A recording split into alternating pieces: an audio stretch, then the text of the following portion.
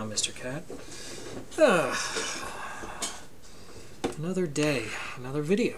I'm going to try to do a video on the Marvel Cinematic Universe today. Because I want to, and you can't stop me. So, I wanted to do, to do a review actually on some of the Marvel movies that have come out in the last eh, year and a half.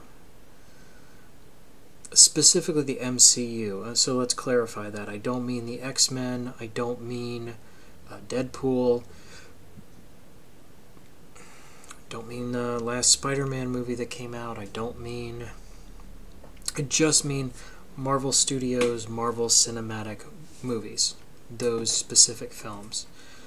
Uh, I started doing this a little too late to get into to do a review of Marvel, the Civil War movie, Captain America: Civil War.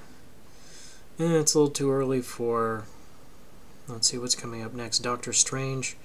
So this is kind of a review of those. Specifically, what I'd like to do is do a review of what I think are the best five. What are empirically the best five? Not necessarily my favorites although I think, um, you know, like I, I don't have any preconceptions there. Of course, the ones on the top five, I'm going to list as the top five, are going to be my favorite movies.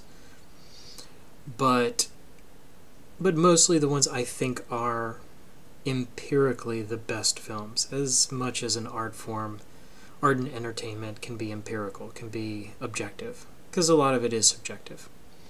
Nonetheless, I'd, I'd like to give a go at this uh, just to get a discussion about it. I collect my thoughts anyway. So let's let's dig in. So phase three. We're in phase three of this. Technically, Captain America Civil War is the first movie in phase three of the Marvel Cinematic Universe. And I would argue although there seems to be an unusual amount of debate about this, that Captain America Civil War is definitely one of the five best Marvel movies that have come out, one of the best MCU movies. Uh, it's it's well written, it's entertaining. There's some pacing issues, but tonal issues. Let's say that instead. Pacing is fine. Uh, it's a little odd having essentially two climaxes. I don't know what the plural of climax is, so I'm going to use climaxes. So take that. First, you have. Well, the movie's been out for months, so spoilers out the wazoo. First, you have the airport scene as one sort of climax, and then you have the actual climax at the end of the film. A brilliant film. It gets around, it sidesteps the villain problem that Marvel movies have MCU movies. And going into that just a smidge, the villain problem is the villains in Marvel movies tend to be one dimensional and have very weak motivations, paper thin in some places. Like, I love the Ant Man movie. Oh, see if that makes the top five. But the villain in it's like, he's crazy because reasons. Like, maybe because of he's been exposed to the Pym particles, but then there's, you know, actually he hasn't. He, as far as we know, he hasn't been. He it doesn't make sense. So, a lot of problem with thin motivation. I mean, I'm looking at the list of these. The the Whiplash guy was kind of a weak character. I mean, he, he hated Iron Man, but meh. Uh, there's a reason Loki has shown up in three of these so far. You know, a guy who's not one of the heroes has shown up in three of the movie. He was definitely a villain in the first Thor movie in 2000. When is that? 2011. And then again in Avengers, he's the villain again. The series of movies needs a, a good reoccurring villain, and right now it's it's leaning on their Loki, which is fine. He's Tom Hiddleston is is a blast to watch. He's very good at it. But they need more. They really do need more.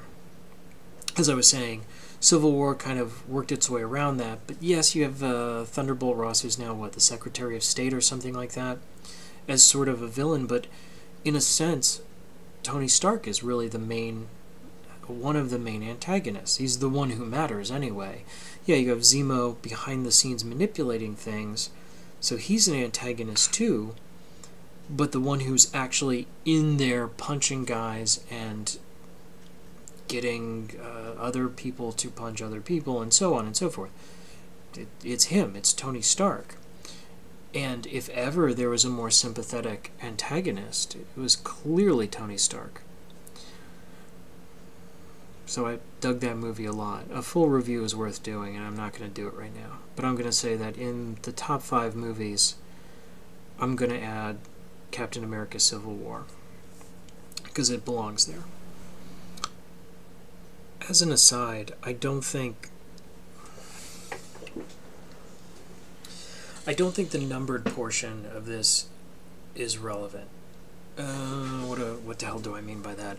I don't think Captain America Civil War is number five or number one. I'm just listing it because it's the most recent. I did it first because it's the most recent one. It's hard enough to narrow these down to five. And of what these are there are 13 of these out. So it's hard enough to narrow it down to five, let alone put those in some sort of meaningful order. Like, you know, somehow this one's better than that. I'm just listing them off no particular order mostly going in order of when did they happen and kind of going with All that. right. Hold on. Okay. Next, uh, top five. Top five. I'm not going to list Avengers: Age of Ultron as one of the top five movies because I'm kind of going working my way backwards through them. Nor am I going to list who's off the list. That actually makes this a little easier. Iron Man, I'd argue, the original 2008 would be in a list of the top five most important films, but not the best. I mean, it's great, it's very entertaining, and it holds up. Robert Downey Jr.'s performance is fantastic. Everyone's performance was fantastic in that film. I can't think of anyone who stands out as not being as good as everyone else. It was a unique. It was a. It was a risk. It was a huge gamble from every perspective. People forget now that once upon a time, I mean, you can imagine the the water cooler situation, or, or people getting into an elevator over at Sony Pictures or Warner Brothers. Go, do you hear the news? Marvel is going to try to make their own movie theater, movie studio. Yeah, they those are the guys who did the you know live action Incredible Hulk on the made for TV movies. Yeah, they're going to make real movies and they got Robert Downey Jr., who in, in 2008, mind you, was this guy who's trying to recover, was a washed up actor trying to recover. He was not the guaranteed crowd pleaser he is today. Like, his career is just a crazy up and down line up to that point. Like, at some point, he was fantastic. He had some very lows. Like, I know he had some sort of personal problems, uh, drugs, alcohol, you know, substance abuse, things like that and in 2008, he was a gamble. Everything at this point was a gamble. So, Iron Man definitely one of the most important films, but not the best. Ditto, same year, uh, The Incredible Hulk. I really liked it. I liked it a lot, actually. I liked it more than most people. It was definitely it was a reboot of uh, the Ang Lee one, which is vastly superior to that one and that's a shame. Uh, had some issues, but not a bad film. A pretty, pretty. Likewise, Thor and Marvel's The Avengers. Uh, those were, those are great films. Once again, Marvel The Avengers was an important film. List of the I should do a separate list of the most important ones, but I don't think they're empirically the best, and not because they aren't good. I like Thor. It more than anything else, it demonstrated why this character can be cool, what can be cool about a character that I honestly didn't care that much about till this movie came out. Captain America, the first Avenger, though, that's a close one, because that is so good. It's really good. As a historical fantasy, it's well driven, it doesn't rely on a lot of a lot of the superhero tropes of of visually destroying everything. And unfortunately, yeah, as much as I like the Avengers movies in particular, they fall into the you know Batman v Super the the oh what is his name? Uh, the director of Batman v Superman Snyder.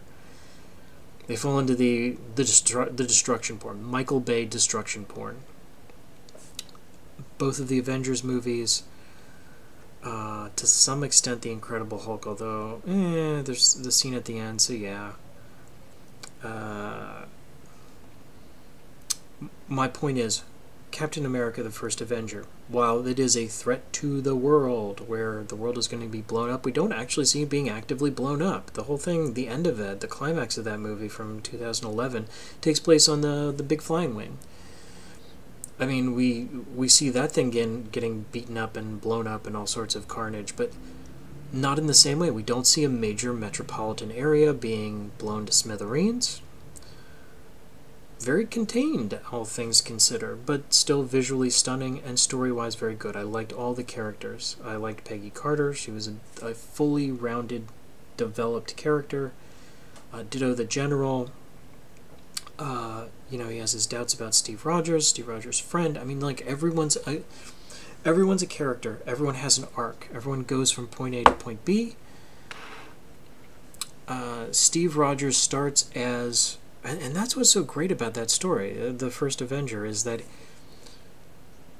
while the character develops, it's more the situation around him. We see him being truly heroic and brave when he's powerless. Like he's constantly trying to get killed in a war, not because he wants, and he, that's very explicitly spelled out, not because he wants to kill a bunch of Nazis, but because he wants, he feels he has the need to serve. Like he really, he believes that this country's in danger and that he needs to help. He needs to help somehow. And he feels this is the best way to do it is to enlist. Even if it's a relatively minor role, he really wants to do it. And you see him like like standing up for himself and that's that's Echo and the the two movies so far I've listed as the best, empirically the best. He has the same line, you know, I could do this all day. You know, where he's getting beaten up by someone physically more powerful than himself. Awesome. It demonstrates what's it does a very good job of demonstrating what's cool about that character. And I need to go into that just a little bit. That has to be explained. Ugh, all right. Why is it important to demonstrate why your main character is cool? That should be a well, duh. But it isn't, apparently. Did you see Batman v Superman? Did you see Man of Steel? The characters are cool, or, God, I don't even have to limit it to DC. I can go to, oh, what's another good one? The last Spider Man film. I like the Peter Parker guy. Uh, what was his name? Andrew Garfield. I like the actor, but characters aren't cool simply because you declared them to be cool or someone on screen tells me they're cool. They're cool because I see them being cool. Their their actions and words tell dictate that, not like this is like oh my god, Superman is such a great example for these because we're constantly beaten over the head with how heroic Superman is, but we don't really see him being heroic. We see him being powerful, and that's not the same. Now, is it? Yes, he's very powerful, but we never have him I need to do this or or you know even if you're going to do the the trying to do a gritty grim uh, introspective Superman fine that gives you a great opportunity to have a have him talk to someone about why he's Superman and as near as I can tell that doesn't really happen so failure Captain America, we see Six Ways to Sunday. This guy is awesome, and he explains why. He demonstrates why. When he's powerless and vulnerable, he's he's standing up to bullies and bad guys for something that he believes that other people around him don't. That is that is the core of what makes Captain America Captain America uh, you know Steve Rogers, Captain America. Not just why he's cool, why we like him, or what he can do. This is why he is what he is. This is a demonstration of character, and a strong one in both of these movies. So that's why those two are in there. The very strong characters, and oh my God, Civil War introduced so many wonderful characters too. God, it was amazing. So I have to put Civil War, and I have to put Captain America: The First Avenger as one of the top five. I have to. But man, that gives me a, a hell of a challenge there, because now I have to winnow out three out of what's left. And that's a tricky one. That's a damn tricky one. Okay, discarding them seems to be more helpful. So let's throw out Thor the Dark World. I like the like I said, I like the Thor character. I I think he's underappreciated. But neither of his movies are in the top 5. Uh, there's 13 movies. They're in the top 10? One of them is, probably? I don't know. It's only 13, so that's not that great but neither's in the top five. Uh, we're introduced to Loki, and that's awesome. That's balls awesome. But we have a better introduction of Loki in the Avengers movie, the Marvels, the Avengers. So I got to throw that one out. I got to throw out Age of Ultron too, and that one's a little easier to throw out because it was crowded and it didn't have enough time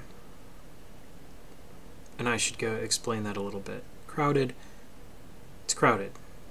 So is Civil War. Civil War is more crowded, but does a better job. I mean, every single character got their five, got their moment to shine, got their dialogue, got their, you know, this is why this guy is cool. This is why this guy is this guy or gal, in the case, in quite a few cases. But it didn't didn't feel rushed. Age of Ultron, we have this entire love story arc with Black Widow and uh, Bruce Banner that feels way, way rushed and forced, and there's not enough time for it in a movie, and there's not enough setup. And we have all these other things, and it's like, uh, it's not a bad film. It's a good film, and I love it, but not in the top five. Sorry. It can't be. So I got three. I got three. I'm going to say Iron Man 3. I heard someone saying recently that, oh, the big letdown of Iron Man 3. And I'm like, are you nuts? Iron Man 3 is almost a perfect movie. Uh, let's explain that briefly. It's the character undergoes a significant, interesting, complex arc. It's mostly about the main character all the other characters are developed. The motivations for all the villains are are crystal clear. Uh, Doctor, what's her name, wants to develop this technology. um, uh, the main guy, uh, the main villain there, he wants to uh, basically control the world in a quite a brilliant way. Uh, the Mandarin turned out to be like turned out to be a stooge. He doesn't didn't want to be killed, and he wanted to get paid, and he has all these luxuries. So everyone's motivation is is absolutely clear. Why is everyone doing this? Well, they're, they're doing this for for clear reasons, not just because. The setup is perfect. Execution is perfect.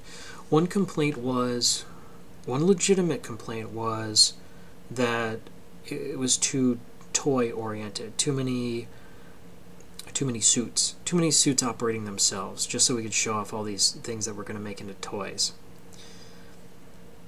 That's not an illegitimate complaint.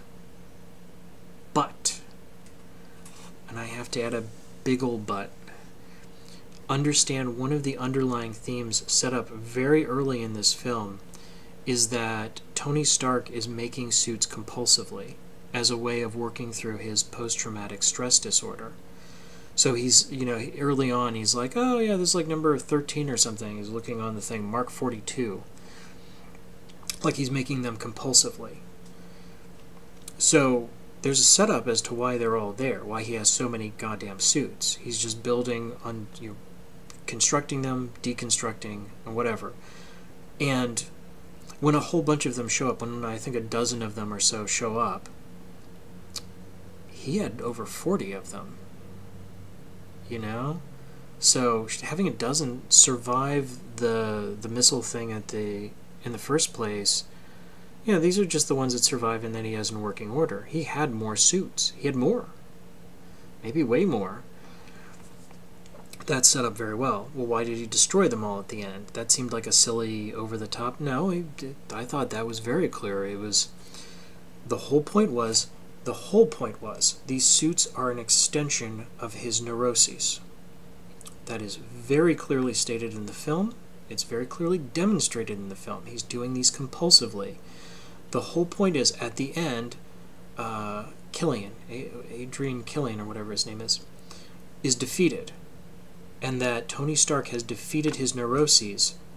The suits are an extension, a physical representative of his neuroses. He's better. Maybe not all better, but better enough that he can get rid of them now. He doesn't need them anymore. He can build more.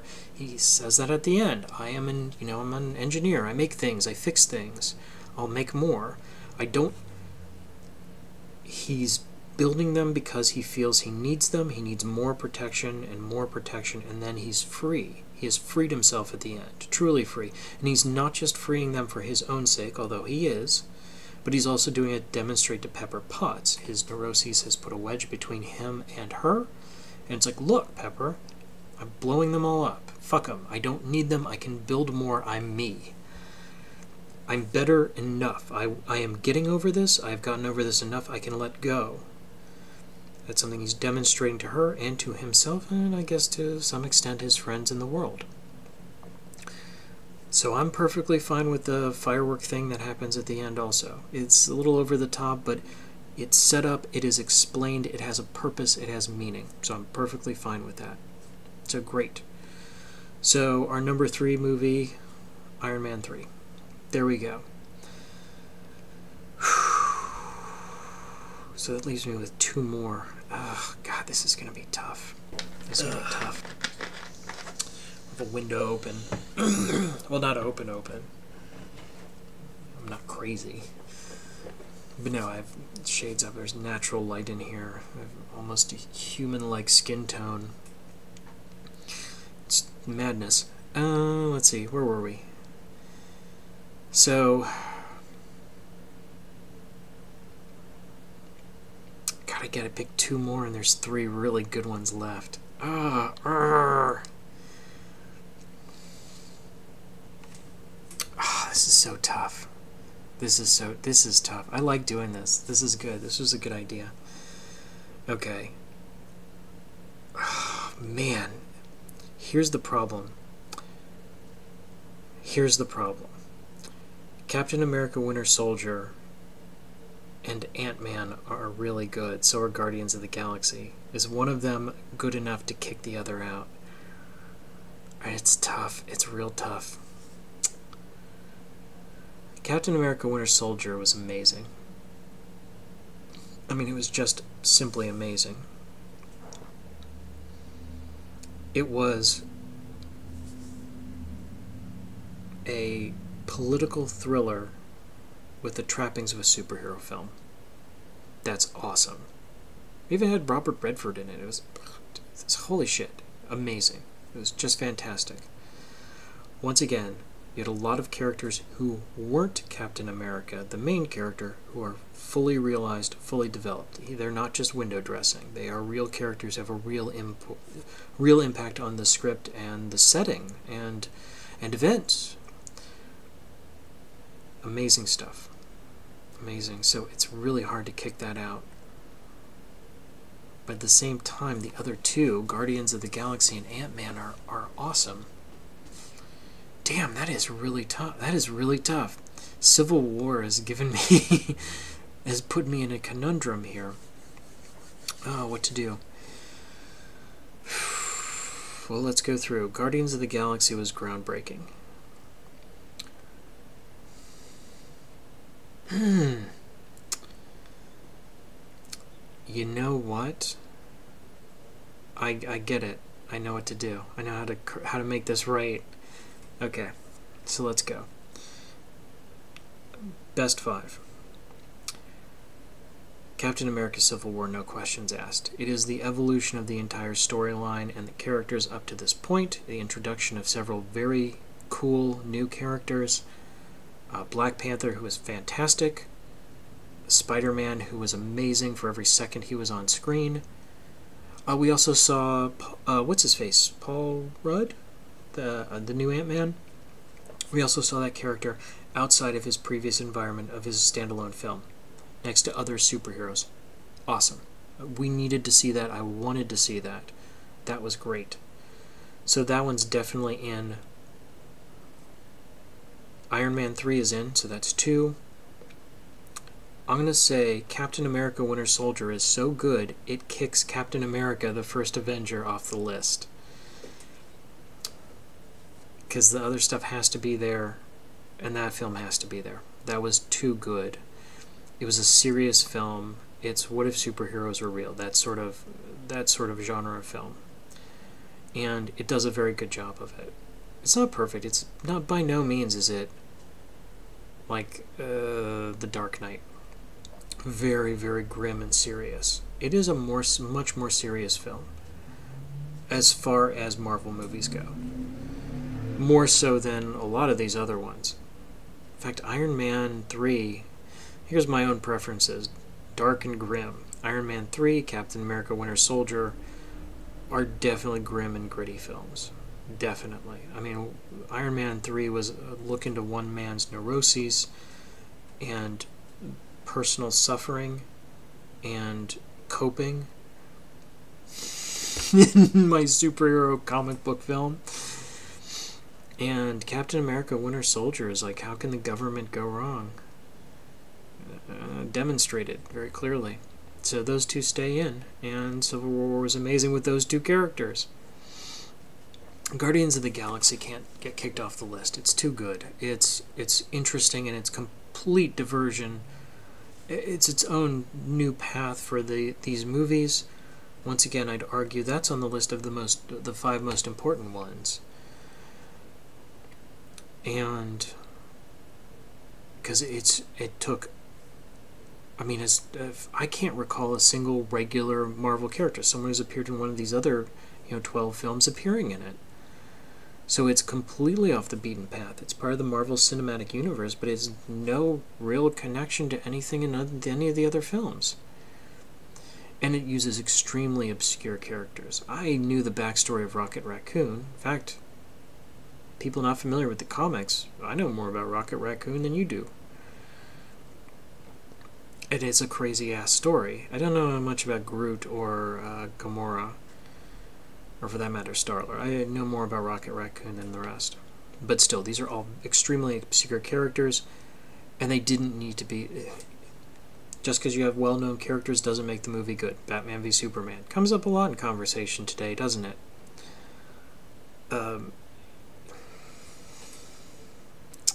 Also, James Gunn's amazing. I love his stuff. He's he made one of my favorite movies ever, which was The Specials, and then he's he was the writer and, as it turns out, one of the actors. Funny story about that. I'm not going to recount it here, though. Perhaps later. But he was the the director of Guardians of the Galaxy, and that was great. And he was great in it. So, as the director, he just did a fantastic job. So that has to stay. Ant Man was a Ant Man Ant Man has to stick around too. So there's number five, Ant Man. Ant Man is number five because Ant Man is somewhere between Guardians of the Galaxy in tone, and at the same time, it has way more connections to the rest of the Marvel Cinematic Universe. Uh, Tony Stark's father, uh, Peggy Carter. Uh, you know, there's a mention of the of the, the, the Starks family, winter's coming. Uh, it's better connected and better placed. And once again, I mean, I keep harping on this. One of the things that makes Marvel MCU movies great is they aren't pure comic book movies. They aren't, let's make a funny comic book movie. It's, let's make a good movie that happens to have the, it has to have an idea other than here's a bunch of superheroes. Here's a bunch of superheroes doing superhero stuff Ant Man, in particular, is a fantastic example. Captain America Winter Soldier is another. Ant Man is a heist movie. It is a full on heist movie. And it's a great heist movie. If somehow you were able to take all the themes and all this, rewrite and re edit it so it was just a heist movie minus the, the Ant Man, the shrinking stuff, it'd still be a good movie. It'd be a very different film, but it would still be a good heist movie. But adding a good, good, let me emphasize this, good heist movie married to a superhero film and placed in the Marvel Cinematic Universe, this shit's amazing. No way I'm going to kick that off the top five list. Oh, this is going to get tough if I do this again. Because look at all the stuff coming out. Ugh. But yeah, so yeah, so that's why those are in there because they're they are what they are, and what they are is pretty fucking great. Okay, just a quick recap. Uh, let's see, my I would argue the five best Marvel movies, Marvel MCU movies. Let's be clear, were in reverse order of when they appeared: Civil War, Captain America: Civil War, Ant Man, Guardians of the Galaxy, Captain America Winter Soldier, and Iron Man 3. Top 5. A note on that worth mentioning. I think one of the cool things about MCU movies, why they've been so freaking great, is that they took a very good movie, which was Iron Man. They took a chance on a movie and backed it, really backed it. Like, didn't back off. There wasn't a ton of studio interference I have seen with any of these or heard from any of these. From what I understand, they got a director. They they clarified beforehand what they wanted out of the director, what they wanted out of the film, and so on. And if it didn't work out, they get the they didn't do it. Ant Man is an example of that. that. They changed directors on that. Not a slight to the previous director whose name eludes me because I'm terrible with names. Uh, let's see.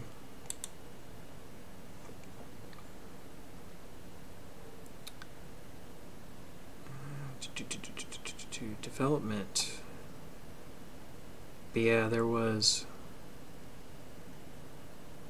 Wright's replacement. Edgar Wright, I think, was the original guy. Wright left the project. Okay. Citing creating differences. Okay, that's fine. In other words, before they made the film, they made decisions. They didn't make them during or after. No course corrections until then. No course corrections. Like we're gonna get this right the first time. It's gonna fit in with everything else we're doing, and it's gonna work. And we're gonna stick to it. It's bold, and that's the way they've done it in a bold, organized central. I mean, in it's what's his name, Kevin Feige. They have one person calling the shots. There isn't squabbling or infighting that we know about. I mean, hell, for all we know, behind the scenes there might be, but there's no reason to. there aren't all these guys involved. There's like, look, you put Kevin Feige in charge. He's in charge. He's the the man calling the shots for this. he's doing a great job. He did a great job up to now, which gives him the the leverage to make decisions. I mean, it's not just that he was given the power to do so, but he's demonstrated that he's used that power very well. Kick ass. Um, my point being, uh, getting off track as I always do, with these films, they started with a good idea Iron Man. They tried out uh, the Hulk. The Hulk movie didn't work out as well as they'd hoped, but it was still good enough. It allowed them to continue onward. And after that, they built on it. The films built. They didn't just try to recreate the first Iron Man with different characters. Or hey, let's get uh, sass talking guy to be the main guy, and then but we'll just do it with other characters. No, it's they've tried to do something different. Like I said, this. I mean, God, looking at these, Guardians of the Galaxy, kind of a space opera. Captain America, Winter Soldier, uh, political thriller. Ant Man, heist movie. Uh, Ultron, um, uh, robot apocalypse. Avengers, alien apocalypse. Uh, Thor: The Dark World, and Thor, uh, fantasy types, type very fantasy oriented. Captain America: First Avenger, historical fantasy, historical sci-fi fantasy. Uh, Iron Man is the mm, the most comic booky. Even the Incredible Hulk. Can't just call it a pure comic book movie, although it's a purer one. The ones that are pure comic book, I can't help noticing, aren't the ones that are kind of weaker. But it's they've made a good movie with comic book stuff with their characters. They've made something else out of their ingredients. Awesome. But they've built towards them. Uh, in my list of the top five, the ones I felt were the best. I mean, these are they're two. In my list of the top five, four of them are the most recent films. In fact, I think the out of the five most recent films, aside from Age of Ultron, I mean, I'm that's amazing. That's that's a wonderful progression. That's that's and that's how they need to do it, or else people are going to get sick of superhero films, or going to get fatigue or something like that. I think people keep talking about it. Is that you have to keep making them better and I have no problem with that. you know, I'm thinking about it. I'm like, yeah, so they're just going to have to keep making these films better and better. Oh, okay, yeah, that, that works for me. Just keep up the good work. Because what's next in the pipe is. What is next in the pipe? Doctor Strange, one of my favorite characters. I am so eager to see what they do with this character. Guardians of the Galaxy, I loved Guardians of the Galaxy love James Gunn. Now he's going to get to do a second film. Fuck yeah. Uh, Spider Man. The Spider Man, Tom Holland Spider Man, was amazing. That was the best Spider Man I've ever seen. And I don't like saying that because I really liked Andrew Garfield. And not to, to diss Tobey Maguire either. I haven't seen a shitty Spider Man yet. But Holland was so good. He was so good in that character the writing was perfect for him. The acting was perfect. It was. It's a take that's different than the last two Spider Men, but it was awesome. It was really awesome. So Homecoming looks great. Ragnarok, I'm sure will be fine. Loki's going to be in it. I think uh, Anthony Hopkins is going to be in it. It's shit. That'll be amazing. Even if it's not one of the best films of that year. God, they're doing three next year. They always do two. And the year after that. Interesting. Then Black Panther the year after that, because the Black Panther was just amazing in this in uh, Civil War. He was really, really good. He was important, relevant. Once again, underwent a serious arc where he went from, I don't want anything to do with politics. It's not my bag. Oh look, I'm the king of a country now, and I crave vengeance ah, I'm craving vengeance and I'm fighting for it and I'm making associating myself with other characters and other people and, and shit like this and I'm making deals and stuff like that. So I'm I'm changing who I am to adapt to the situation. Oh, uh, maybe this vengeance thing isn't all it's cracked up to be. Oh, this is awful. I'm not going to allow myself to be consumed by vengeance. I'm going to complex, beautiful story arc, beautiful developmental arc for the character. Wonderful. I am if they can they can just maintain maintain what they've done in that movie with that character in the Civil War movie and make an entire movie around it. Just maintain it would be great. If they can actually go somewhere new, that movie will be fucking amazing. Anyway, that's that's where I am. Just wanted to because I haven't done anything in a couple days and this sounded like fun. I, I wanted to review the last three super, we had three really good, uh, shit. We had three really good superhero films this year. We had a bunch of superhero films this year. Not all of them were that great. But, wanted to review them, but it's been a little late for me. Maybe I'll see them again and review them. I actually tried to do the Fantastic Four movie and I can't get through it. I literally can't make myself watch it. It's slow, slow, slow, boring, and I know that the payoff isn't going to be great. So I did this instead. We'll see how that works. Um, please like and subscribe. I'm here, and if enough people pay attention to me, I'll keep doing this. that's not just a, an idle threat. Alright, uh, I'm done. I'm out.